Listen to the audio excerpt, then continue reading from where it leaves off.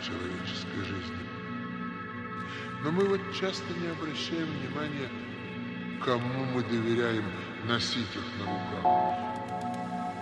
Я не знаю, как у вас, а у нас в Ленинграде нянька – это проблема, а детские ясли – это большая проблема. Хотите в этом убедиться? Пожалуйста.